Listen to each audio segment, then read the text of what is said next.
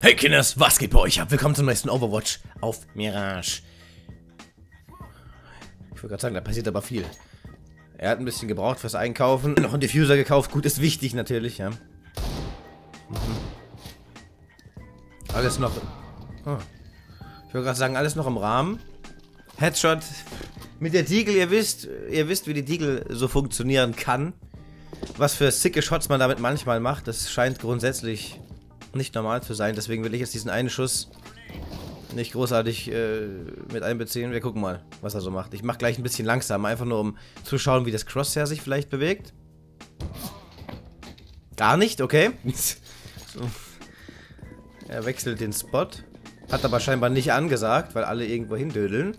Obwohl, das sind, das sind okay, ganz schön 4 auf A. Mhm. Hm. Der Headshot war ganz schön krass. Wobei mir sowas auch schon gelungen ist. Also in dem Flick einfach da auf die Rübe zu holzen. Das sieht sicherlich... Kann merkwürdig aussehen. Der war eigentlich auch ziemlich normal. er, er aimt irgendwie... Ähm, Gerade eben dieses... Er zoomt ein und, zoomt und zieht erstmal drüber. Ich weiß nicht... Ich, ich würde sagen, das geht eher Richtung No-Cheat. Aber... Nö, nichts aber. Im Moment ist es doch noch passend. Der letzte ist da hinten. Vor den Apartments. Ich kann jetzt hier gar nicht durchschalten. Ich wollte gerade sagen, mal schauen, was die Mates so machen. Oh, der Kollege wurde schon gekillt. Vielleicht... Vielleicht äh, kommt... Oh, und der andere Kollege bringt den... Okay, ich wollte gerade sagen, vielleicht macht er jetzt noch mit. Und er macht tatsächlich mit. Ich nehme an, sie haben sich abgesprochen, dass er hinten rumgehen soll, genau, beziehungsweise er eben die Bombe beschützt, was schon mal ein recht sinnvolles Verhalten ist, würde ich ganz klar sagen. Daran merkt man, dass wir jetzt nicht, nicht auf dieser ultra, ultra hardcore Low Elo sind, wo die beiden letzten CTs einfach reinrennen, um ihn zu holen. Er rechnet jetzt ja auch mit ihm, was auch vollkommen klar geht. Mal gucken. Mich würde es halt jetzt interessieren, ob er gerade eben, als man ihn ähm, hier gesehen hat, ist er kurz nach links gezuckt. Als hätte er ihn durch die Wand gesehen. Also er hat kurz reagiert. Ich würde sehr gerne nochmal zurückspulen, kann ich aber nicht. Er hat ganz kurz reagiert. Es schien zumindest so, aber es könnte auch eine zufällige, eine zufällige Bewegung gewesen sein.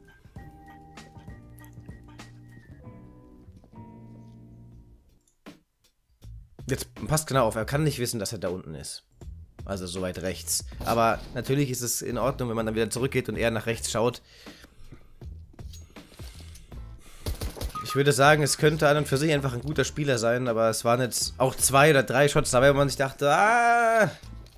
Aber ich bin mir jetzt auf jeden Fall noch nicht sicher, ihn irgendwas überführt zu haben. Wo sind diese ganz klaren Fälle hin, die wir so oft hatten?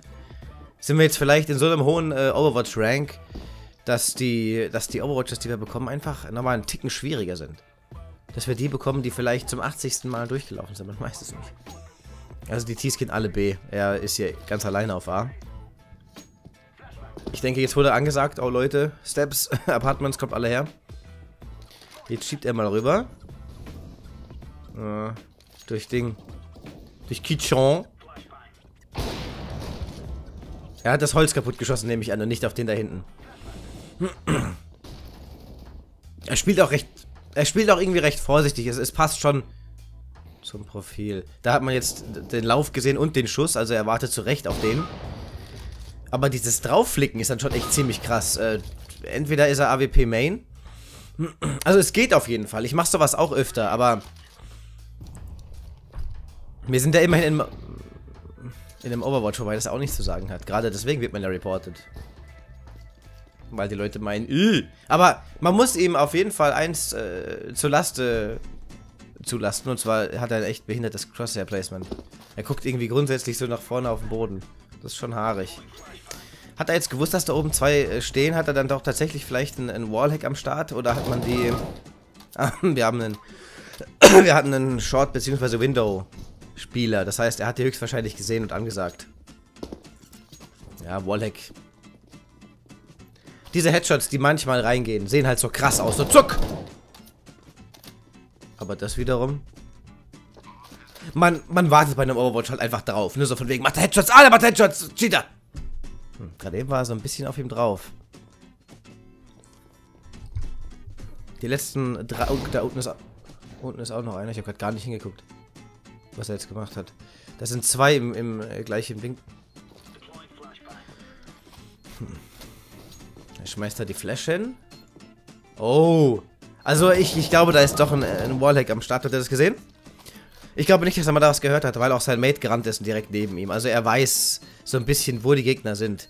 Bei Short ist auch noch einer, den er abaimt. Klar, den kann man auch erwarten.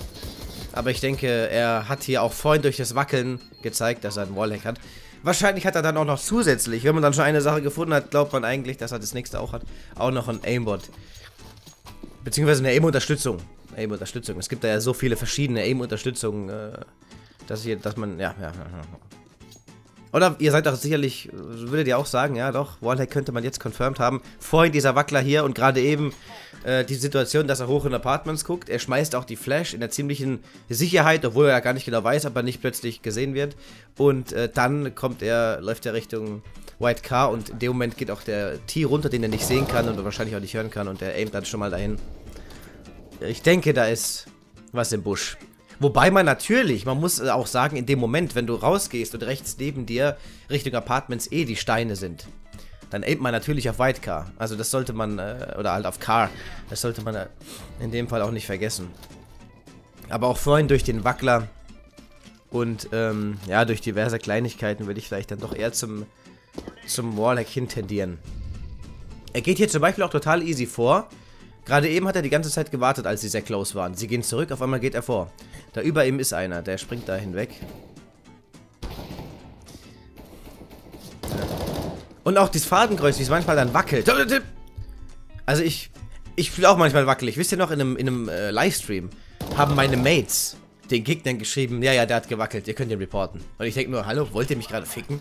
Aber ich wackel nicht so, so, äh, sondern ich wackel manchmal generell mit dem, mit, der, mit dem Fadenkreuz. Klar, so, so sieht auch manchmal der Aim-Unterstützung aus, wenn man sich hin und her zappelt. Aber er ist ruhig, aimt auf den Boden und zieht dann so nach... Da, das gerade eben, das war ein Locker... Lock on, mein Freund! Gut, ich denke, wir haben es confirmed, das ist ein äh, Aim-unterstützender Wallhacker. Jetzt werde ich noch das Alter und das Geschlecht bestimmen. Also ich habe schon erkannt, das ist ein, es ist ein Mann, ein, ein, ein junger Mann. Wir gucken uns mal das Alter an, wartet mal. The Puffin. Mal gucken, wer jetzt den Puffin killt. An so einem Puffin-Kill kann ich oftmals ähm, die genauen Tage der verbrachten äh, Zeit auf der Erde angeben.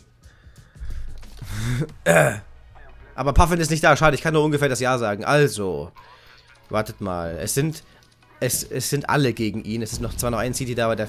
Oh, der holt gleich den Kellen Apartments. Okay, ich würde sagen, es ist auf jeden Fall so ein 13-Jähriger. Also schon noch ein Kind. Es ist schon noch ein Kind. Es gibt übrigens also in Statist Statistiken und äh, Herausfundungen, äh, Findungen, gefundene äh, äh, Grundstücke, Fundstücke wurden ausgewertet und es ist tatsächlich so, dass eher junge Leute, also Kinder, cheaten, zu Cheats greifen aus verschiedenen Gründen, also vor allem halt eben aus, einfach aus dem Grund, ah, ähm, die, die, sind besser als ich, ich äh, will das aber auch können, deswegen cheaten die. Also Kinder haben da nicht diese Schwelle, die vielleicht auch ein Erwachsener einfach hat oder haben sollte, dass man sagt, ja gut, die sind besser als ich, aber das ist halt einfach so, ich bin schlecht und hin und her. Kinder ähm, gestehen sich das natürlich sehr ungern ein, das weiß jeder oder kennt jeder auch von noch etwas kleineren Kindern aus äh, Spiel und Sport, wenn sie dann sowas machen wie ich kann das besser, aber ich kann das besser, hätte und dann fangen sie eben an zu cheaten. Ist vielleicht ein ganz, ein äh, ganz interessanter Fakt. Ich denke, viele haben sich das schon gedacht. Oh shit, wie sie beide kommen. Alles klar, also es geht jetzt mittlerweile gar nicht mehr offensichtlich. Äh, am Anfang, finde ich, war es noch mittelmäßig unoffensichtlich oder weniger offensichtlich zumindest als jetzt. Ja. Man muss natürlich sagen, dass... Oh, der ging nochmal voll in die Fresse. Dass, äh, also ich denke, dass Kinder oftmals nicht die Möglichkeit haben, sich diese guten Sheets zu holen, dann eher diese Rage-Hack-Scheißdinger haben. Und man das dann doch leichter erkennt. Ähm, ja. Oder halt einfach, ja doch Kinder. Ich bleibe bei Ki Kinder einfach jüngere Leute. Aim Assist, Vision Assist, Other External Assistance, Griefing. Gut, Leute, vielen Dank, dass ihr bei diesem Overwatch so extrem zugeschaut habt. Ich weiß, ihr wart an meinen Lippen gehangen und am Gameplay und habt schön mitgeraten. Also falls euch was aufgefallen ist, schreibt es in die Kommentare. Macht's gut, bis zum nächsten Mal. Ciao, ciao.